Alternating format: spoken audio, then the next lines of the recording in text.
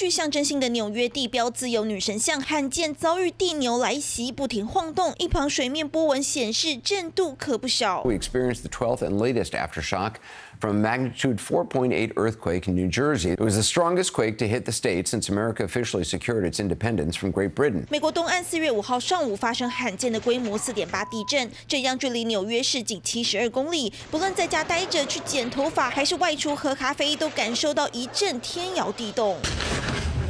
Oh my god, an earthquake! Is this an earthquake? Yo, my house is shaking. My chair started kind of bouncing a little bit.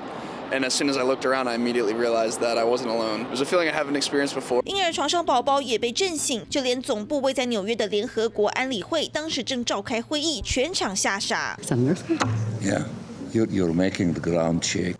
这也是二零一一年以来纽约感受到最强烈的地震，更是纽泽西两百四十多年来最大。从波士顿、费城到华府，超过两千三百万人有感。No deaths or significant levels of damage, but delays at several of the nation's busiest airports, as well as rail travel, one of the most densely populated areas of the country. 鲜少碰上地震的东岸人大惊失色，大批乡民涌入 X 留言，说是这辈子第一次感受地震。更不乏纽约人嘲讽回应：纽约要变洛杉矶。了吗？东岸人拒绝任何西岸来的东西，歪楼占东西，甚至因为地震太罕见，当地店家火速制作地震 T 恤，引发抢购。Generally, because this isn't that strong, not so much of a worry. However, one of the worries is that the East, unlike other parts of the country, has not so much been retrofitted with buildings that are earthquake resistant. 另外，东岸作为最早定居区，建筑物普遍都很老旧。尽管地质学家认为不太可能有超大地震，但仍建议民众必须具备。基本防灾知识，就怕万一。三新闻有海军报道。